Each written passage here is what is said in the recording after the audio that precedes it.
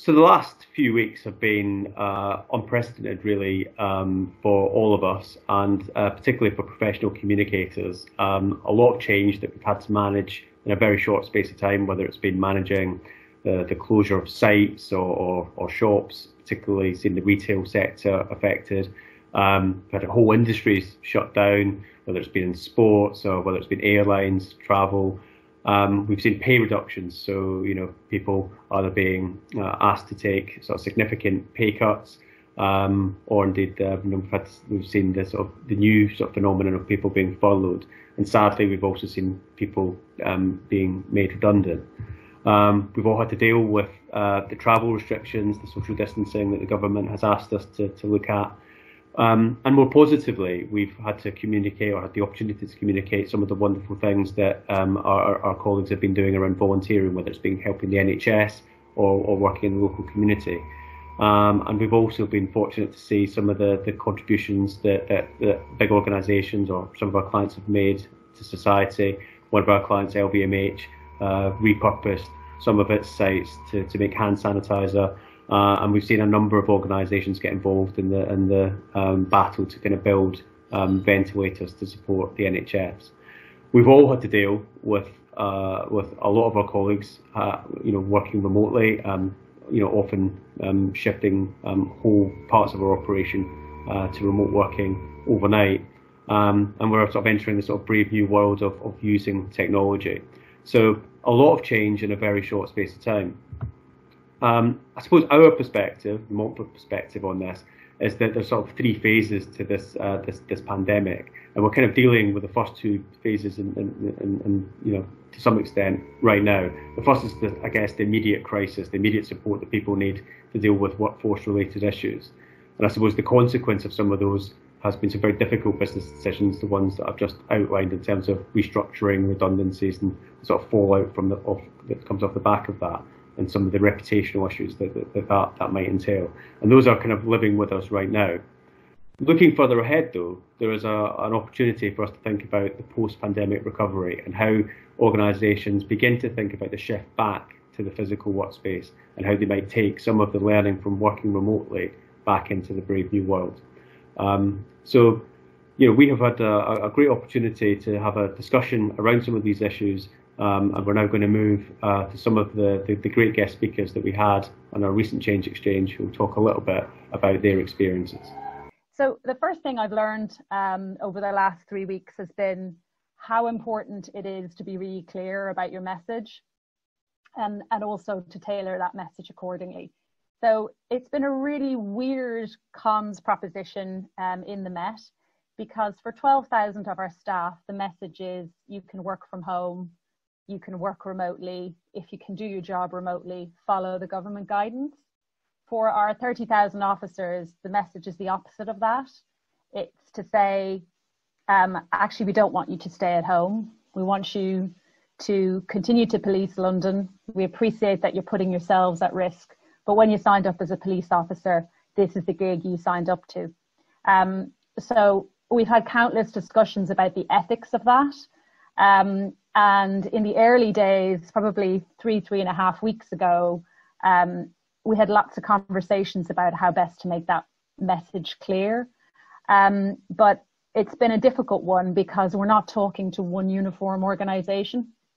So we've had to absolutely make sure um, that we segmented the messages accordingly. The second thing I've learned is about listening. So um, it's really important um, that as an organization, we're listening to what our employees are saying and we're, we're listening to what the public are saying as well. So listening really has been at the heart of our approach, um, particularly around employee voice. Um, so being able to get access to the analytics that are available internally. So last week we discovered that 96% of our calls to the HR helpline were coronavirus related. And, a lot, and the majority of those questions were questions that we had dealt with in the internal communication, which I think leads to another conundrum, which is around information overload. There is so much information out there. Um, how do I and how do my team make sure we signpost that information well? Um, uh, our seven year strategy, the Met Direction, has as its core uh, a pillar that talks about caring for our people. We want to be an organization that cares for its people. Um, so, as a consequence, um, we've been very hot on listening to what employees um, have to say about what's going on, whether they're police staff or police officers. Um, and I've put in place a dedicated person who's actually responding to those employee comments every single day. The third thing I think I've learned um, employers are currently the most trusted source of information. Um, and that's no surprise, really, given what a strange and kind of terrifying time it is for everyone. Um, and given how globally different countries are approaching it in different ways. Um, but I suppose what I've taken from that and, and our approach internally has been really focusing on our leaders and making sure we have discrete leadership channels um, where we can hear from our leaders, but also talk to our leaders and make sure that messages coming from management board um, and from our more senior cop who's managing the London response to coronavirus are getting through, and also that senior leaders have the opportunity to make sense of this because we're asking them to lead in a crisis. Um, and it's a crisis that's going to go on and on and on. This isn't a major incident like we're used to dealing with, like a terror attack. This is one that will rumble on and on and on. So, how do we ensure that resilience, clarity of message, consistency during that time? Um, I've had to stand up a team in very, very quick period of time over the last three weeks so that we have um, not only individuals within our pod, where you've got all the business group heads uh, working in a really agile way to respond to all those comments coming in, but also making sure we're getting the messages out. Um, and then having cover right up until 10 o'clock in the evening, um, which for us in internal communication is really different. It's um, if you work press office side, you're very used to that. You're very used to working on call. You're very wor- used to work very working very long hours.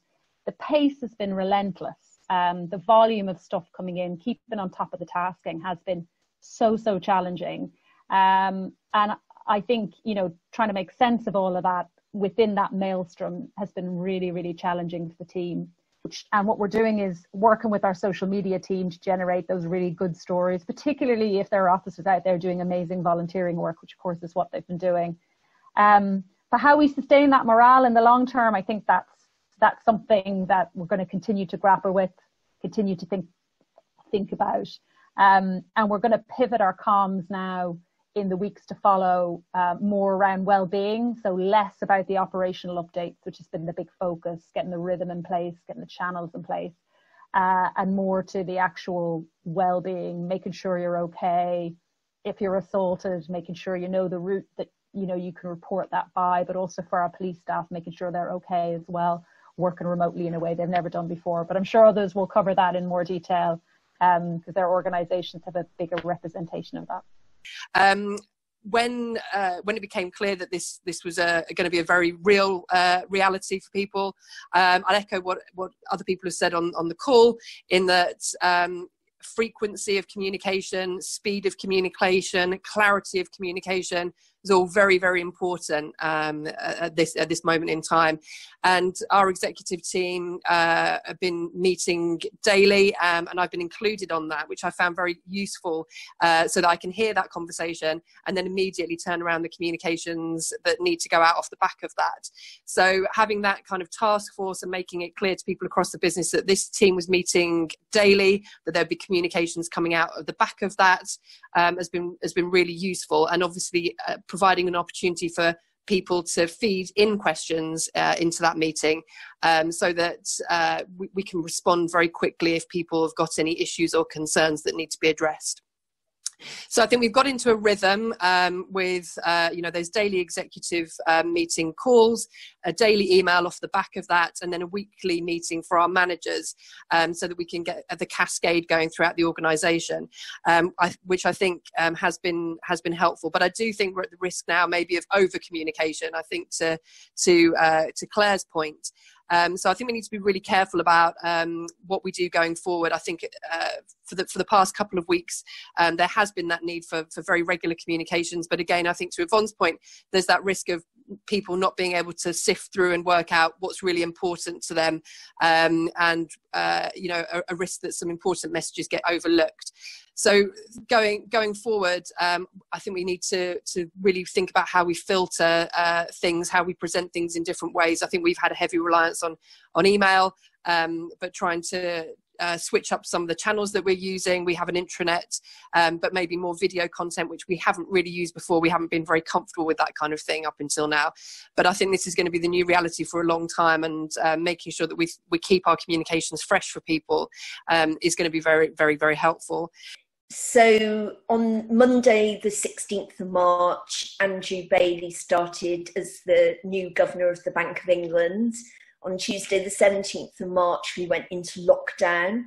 And the thing that has absolutely uh, impressed me and made my job a lot easier has been Andrew's absolute commitment to senior leadership visibility in this period. Um, despite the fact that he's been obviously working with the Chancellor um, and many other uh, people on um, our policy response. Um, he has taken time every week, um, nearly every day actually, uh, to do something um, commu- communications wise with staff. Um, we've been doing weekly video updates with him. He's doing calls with different leadership groups.